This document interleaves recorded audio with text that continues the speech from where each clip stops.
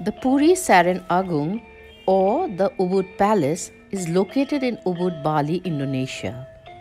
It is a royal palace that has long had importance as a historic and cultural landmark. It was built in the early 1800 and is one of the oldest and most well preserved palaces in the area. It was originally built to house the Ubud royal family, but as time went on, it became a cultural and artistic center. It is a home to the opening ceremony of the Ubud Writers and Readers Festival, an annual event that brings together literary people from all over the globe. The palace also hosts nightly performances of traditional Balinese dances, one of the island's most beloved and important art forms.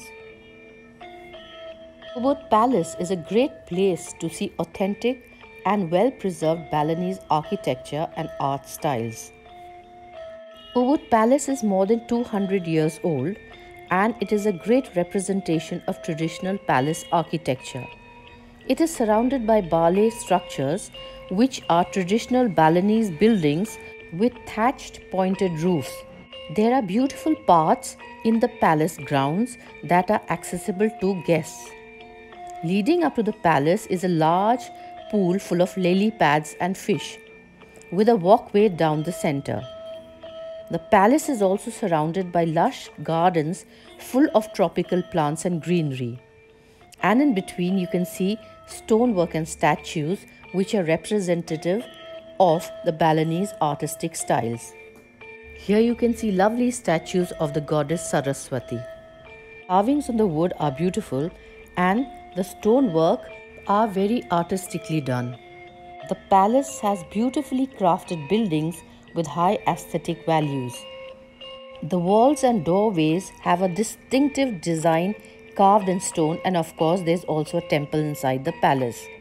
Ubud Palace is the right place to witness the grandeur and magnificence of the Balinese architecture and art. Everywhere you can see beautiful and intricate carvings. Since it is still the residence of the royal, only the front section of the massive palace is open for the travelers. Lush green gardens surround the palace that not only enhances the beauty of the palace but are great to sit and relax.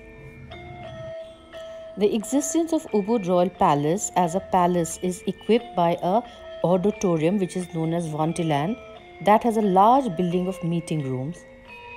Palace's front section with its gardens and carvings is a visual delight while the international events on art, music, and literature are held inside, making this palace a cultural repository of Ubud.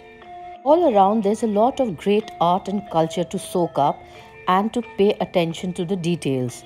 The walls and doorways have intricate demon faces carved into the stone, and there's a door at the back of the courtyard with some of the best designs the gold winged flowers and stone monkey carvings.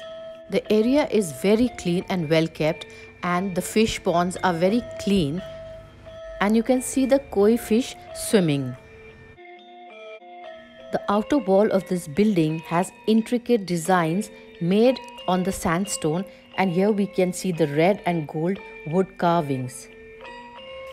Balinese dance performances are held nightly at the Ubud Palace. Tickets are sold in the afternoon. The dancing is done to the sounds of a gamelan band that plays traditional music. While admission to the palace is free, seeing the dances requires purchasing a ticket. This is an old banyan tree in the courtyard and it provides shelter during the summers. This palace is open from 8 am to 7 pm. After 7 in the evening, the dance performances are held in the palace. This palace will leave you enchanted as the grand edifice is simply spellbinding. Hope you like this video and we'll meet you in the next one. Till then, goodbye. Namaste.